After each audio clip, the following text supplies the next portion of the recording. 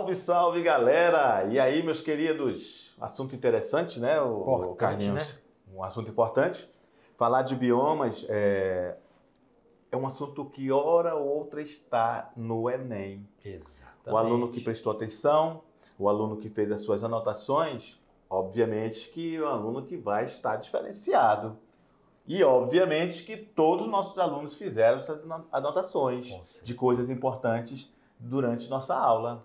Não é isso? Exato. Aluno importante faz anotações, aluno importante anota aquilo que o professor pede para anotar. Isso não é só na disciplina de geografia, Carlinhos, é em todas as disciplinas, não é isso? Exatamente. E aí, galera, tudo bem? Hoje a gente vai dar a nossa revisão, né? relembrar o que nós falamos É. na nossa aula, né, Jorge? Isso. Sobre biomas, sobre características de vegetação, de lugares, né? Isso. Belíssimos lugares que nós temos no nosso Brasil. Portanto, vamos lá para a Vamos nossa lá no revisão. quadro, meu diretor. Vamos lá, aulas 8.2. Domínios morfoclimáticos, principais biomas do Brasil. Aí a gente começa falando da Amazônia, né? Esta Amazônia, que ao mesmo tempo que é um bioma que a gente precisa ver ela de uma forma biológica, geográfica, ela é, é muito mais do que isso, né? Exato. Quando Ela é- se fala de Amazônia, a gente já pensa numa vegetação verde, né? verdejante, ela é internacional, ela é vários países faz parte, ela não tem a fronteira como a gente conhece. A Amazônia não é só a fronteira do Brasil, tá, pessoal? Então, é, ela vai e se estende para várias nações da, da- do continente sul-americano, ok? Esta Amazônia que tem essa, essa característica de ser quente, úmida, o mesmo tambaqui que a gente come aqui em Porto Velho, o pessoal lá em Jaru também tem, é o mesmo bioma. Tucunaré. Tucunaré, lá no Amapá tem tucunaré, em Roraima, em Manaus, então coisas são é um bioma tão grande que ultrapassa mais de mil quilômetros e os mesmos a mesma vegetação e os mesmos E um animais. fator interessante né, que você citou aí é essa questão do- da, da alimentação, do peixe, né? A Amazônia tem uma variada de peixes, variações de peixes, peixes de pequeno porte, peixes também que são carnívoros, né? Temos também a questão que esse bioma apresenta uma variedade de espécies, tanto de mamíferos, rios também, que fazem parte do domínio amazônico, e essa região, ela é, ela se expande não somente ao território brasileiro, como o professor Jorge já falou, mas também vai para outros países vizinhos ao Brasil. Então, esse domínio, né, nós chamamos ela, tem a Amazônia Legal, a Amazônia Internacional, né, professor Jorge? É isso aí. que, que é o mesmo contexto, porque está na mesma faixa climática do continente americano. E interessante também falar, não é tema da nossa aula, mas assim, deixando uma deixa para as próximas aulas que a gente vai ver, tem espécies que nem sequer foram encontradas ainda, não foram descobertas pela ciência. Então a importância de manter a Amazônia em pé, porque inclusive pode ter a cura para diversas doenças, pode estar na Amazônia, por espécies de plantas que ainda não foram eh, catalogadas, não é isso? Inclusive, existem empresas, só para nível de conhecimento, e muitos dos nossos alunos, eu acho que já até já usaram produtos de empresas que utilizam a pesquisa e que transformam plantas, que transformam é, é, é, é, objetos que são da, da região amazônica em creme de pele, Isso. né, perfume e outras coisas mais. Então, essa é uma característica desse grande bioma que nós chamamos de Amazônia. Vamos ver lá o próximo bioma? Vamos lá. Então nós vamos lá e vamos falar um pouco sobre a caatinga. Caatinga, como vimos durante a aula, é, em- é uma palavra indígena, é isso? Que significa mata branca, mata cinza. Então é porque ela tem essa característica mesmo de ser, ter essa cor não verdejante, porque é um clima semiárido, ok? Falamos também que ela ocorre na- no Nordeste brasileiro, é um bioma que está totalmente dentro do Brasil, tá? Falamos também do Cerrado, este Cerrado que passa inclusive aqui por Rondônia. Rondônia tem essa área de transição entre o Cerrado e a floresta amazônica. Falamos dos mares e morros, que está lá na zona litorânea do Brasil, ok? Das araucárias que ocorrem no sul do Brasil, essas araucárias que é, são plantas, são árvores imensas, não é isso? Que têm uh, as suas as folhas pontiagudas. Pontiagudas, não é isso? Acicufoliadas, ok? Falamos do complexo do Pantanal, ali, aqui também perto da gente, ali já no centro-oeste. No entanto, tem uma característica muito parecida com a Amazônia e é uma imensa planície inundável. Poxa. E falamos também dos Pampas, professor Carlinhos, que é lá, são campos, são os campos sulinos lá no sul do Brasil, ok? E falamos das formações de transição, que são essas, é, são as restingas, é isso? Então a gente Mangue. os mangues e as restingas. Então a gente viu essas, esses domínios morfoclimáticos do Brasil e aqui estão eles, onde eles ocorrem em todo o nosso nosso bonito Brasil, ok? Aqui a gente tem a imagem que mostra um pouco da nossa Amazô do domínio amazônico, o tamanho dela em região é, em relação ao tamanho do Brasil, ok? Ó, chega no Maranhão, Mato Grosso, Rondônia ok? Também no mesmo mapa apresenta um trecho do Cerrado. Olha lá a característica do, do, do, do domínio morfoclimático, ou onde o, o, domínio morfoclimático do Cerrado também abrange o estado de Rondônia. Isso. Essa parte aqui em amarelo deve estar aparecendo aí para vocês. Beleza? Tá aí a imagem da nossa floresta amazônica, linda, exuberante, garapés, rios e, e milhares de espécies vegetais e animais. Estamos falando do maior bioma do mundo, ok? E aí falamos também da questão das reservas verdes, não é isso, professor? É, a reserva verde, né, que é uma, um, é, é, são áreas de, de onde podemos obter a preservação, onde podemos obter a questão de manutenção do bioma e que é importante para o equilíbrio climático, o equilíbrio é, de, também da questão de preservação de espécies endêmicas. Quando eu falo endêmicas, espécies de animais que só existem em determinados trechos, tá? Determinados trechos desses biomas que nós estudamos, vocês estudaram aí na nossa aula, né? Beleza. Eles têm uma tarefinha aí para fazer, não é isso, Carlinhos? Exatamente. Beleza. Faça a tarefa aí, tenho certeza que vai todo mundo se dar de boa, tranquilão, suave na nave. E daqui a pouco a gente volta para corrigir. Daqui a pouco Tchau. estaremos de volta.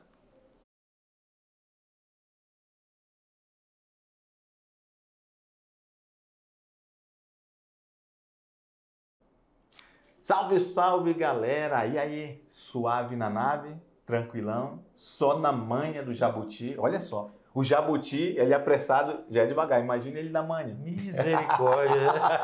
então, mas é assim, o que eu quero dizer com isso? Devagar e sempre, né? É, é devagar que a gente alcança. Isso, né? devagar. Então, é, quando a gente fala devagar, é porque você tem que ler com atenção, não precisa ter um pensamento acelerado, tá? Sempre só na manha.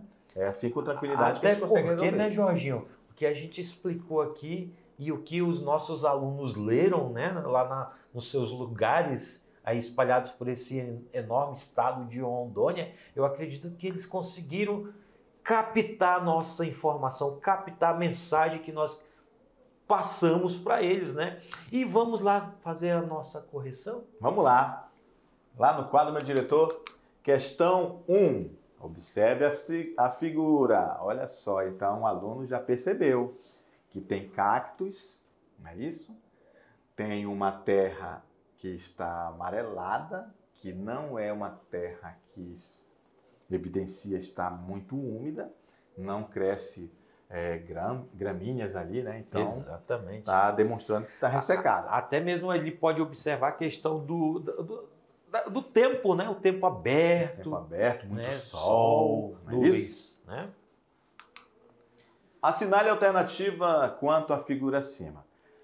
Trata-se de vegetação típica da zona da mata? Letra B. Trata-se de solo de terra roxa associado ao cultivo de arroz e café, ou café e arroz. C. É vegetação típica do sertão nordestino? D. O bioma corresponde ao domínio morfoclimático do cerrado? Ou letra E. Corresponde ao espaço de maior adensamento populacional do Nordeste? Essa aí, hein? Mamão com açúcar. Essa aí o aluno vai lembrar que nós falamos sobre ela, é uma vegetação típica do sertão nordestino. É a caatinga. O interessante, okay? né, Jorginho, só para fazer uhum. um comentário breve sobre essa questão, olha só que, que é importante, alunos. Quando eu falar de caatinga, você vai lembrar que está exatamente numa região de clima, vamos dizer assim, semiárido. Semideserto. Semideserto, pouca chuva, a vegetação ela vai apresentar uma vegetação seca, o solo vai estar meio acinzentado ou avermelhado conforme a região, né? Então, é uma característica da chamada caatinga e é onde nós só encontramos esse tipo de bioma onde? No Nordeste brasileiro. Nordeste brasileiro, no Brasil. Vamos Beleza? lá para a questão número 2? E detalhe, né? Dar parabéns aos alunos, porque temos certeza que nossos alunos da mediação tecnológica tiraram essa questão de letra. Certinho. Vamos lá. Questão 2. É um bioma caracterizado por ser uma área de transição entre florestas úmidas da bacia amazônica e as terras semiáridas do Nordeste brasileiro. Sua vegetação é formada por, principalmente, por palmeiras, babaçu e carnaúba. Essas são as características de qual bioma brasileiro. Olha só que essa questão também é outra questão que foi fácil, que a gente comentou muito sobre ela né, nas nossas aulas. Isso, exatamente. Letra A, Cerrado. Letra B, Mata dos Cocais. Letra C, Manguezal. Letra D, Campos. Ou letra E, Pampas aluno da mediação tecnológica vai lembrar que a gente falou sobre matas dos cocais, né? Exatamente. Onde a gente até mostrou uma atividade econômica das mulheres, né? Isso. Quebrando o coco do babaçu. Isso. Babaçu, uma palmeira que tem um coco que se tira né, tanto a, a, o óleo para fazer é, variados tipos, inclusive, se eu não estou enganado, o dendê. Né? Que é uma, um tipo de palmeira predominante também dentro do, da mata dos cocais. É. Lá tem o, o, a palmeira de dendê, né? Mas a, a, o, a, o babaçu, o babaçu vai, dar, vai, dar, um óleo, outro que ele é, óleo. é um coco, né? Exato. Que ele vai fazer, inclusive, produtos e cosméticos utilizados em vários lugares, inclusive outros lugares do mundo, não só no Brasil. Certíssimo. Okay? E aí o que, que acontece? É, essas mulheres trabalham e vendem esse preço bem baratinho, Carlinhos. Às vezes tira um litro desse óleo para vender coisa de, sei lá, cinco reais, enquanto que esse produto, quando se torna cosmético, o preço vai lá em cima. E ainda tem um rótulo escrito da Amazônia. E um detalhe que nós comentamos, né? O babaçu, ou a floresta dos cocais, a mata dos cocais, ela está na transição entre a floresta amazônica e a caatinga. Isso, perfeito. Vamos lá para a questão 3? Então, parabéns a todo mundo que acertou, com certeza foram todos. Vamos para 3. O Brasil, em razão de sua grande extensão territorial e diferentes tipos de clima, possui vários biomas. Alguns desses biomas podem ser encontrados em mais de um complexo regional brasileiro. No entanto, cada região apresenta um bioma predominante. A mata de araucária está destacada no mapa abaixo. Beleza. Marque a alternativa que indica onde esse bioma é encontrado em abundância. Olha só a araucária, né? Perguntou da araucária. Mata de araucária, tá no mapa. Tá aqui ela, ok? E onde é que ele é encontrado?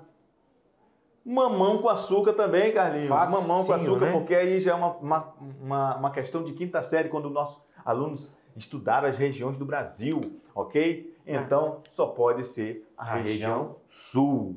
Positivo. Ok? Então, Maravilha. mamão com açúcar também sabemos que todo mundo acertou, todos, todos acertaram essa questão. Vamos para uma questão de Enem que exige um pouco mais de atenção, também tem um nível de complexidade maior e que, obviamente, sabemos que nossos alunos fizeram isso com muita atenção, né? Como a gente falou, só na manha do jabuti. Devagar e sempre. Devagar e sempre. Beleza? Questão número 4. Se liga aí no Enem, galera. Sobre a questão ambiental brasileira, é correto afirmar que, letra A, os desmatamentos e queimadas na floresta amazônica constituem um problema ambiental somente para a região norte. Letra B. As maiores degradações ambientais no país coincidem com as áreas de menor densidade demográfica e ligada à economia informal. C. O tombamento e a criação de parques nacionais constituem a forma cientificamente correta para a conservação dos patrimônios ecológicos. D.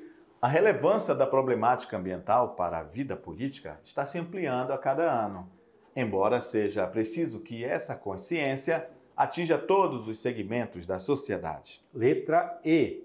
Como não há interligação entre todos os ecossistemas, qualquer grande problema ambiental será regional, será controlado bastante, bastando a vontade política e a participação da sociedade. Olha só, como não há interligação, então já morreu essa questão bem aqui. Claro que está tudo interligado, nós somos um imenso ecossistema. As coisas que acontecem aqui em Rondônia, nosso desmatamento, eh, influenciam o clima, que o clima é mundial. Inclusive, é essa alternativa, Jorge, olha só, ah. será controlado, é, não bastando se... vontade política. É, não, não, não, não. Vamos lá ver a, a desmatamento queimado na floresta amazônica constitui um problema ambiental somente, olha aí, ó, Cuidado com essas palavras fortes, somente. Então não é somente, ok? Está errado por causa disso, é no mundo inteiro. As maiores degradações ambientais no país coincidem com as áreas de menor densidade demográfica ligada à economia informal. Não. Então, não é só economia informal e nem menor densidade. Onde tem grande densidade, precisou também devastar. Sim. Ok? A criação de parques nacionais constitui a forma científica correta para a conservação dos patrimônios ecológicos? Também não. Então, a relevância da problemática ambiental para a vida política está se ampliando a cada ano, embora seja preciso ter mais consciência e que atinja todos os segmentos da sociedade. Beleza? Parabéns a todos que acertaram. Vamos para a próxima. Questão número 5. O Santuário Ecológico da Humanidade foi declarado reserva da biosfera pela Unesco. No período da chuva, de novembro a março, os rios enchem e alagam parte da região. Com o fim da chuva, a água vai escorrendo lentamente pela drenagem dos rios e lençol freático. Uma parte do complexo, no entanto, já foi alterada pela ação antrópica, com lavouras e criação extensiva de gado em pastos plantados, tanto no Mato Grosso como em Mato Grosso do Sul.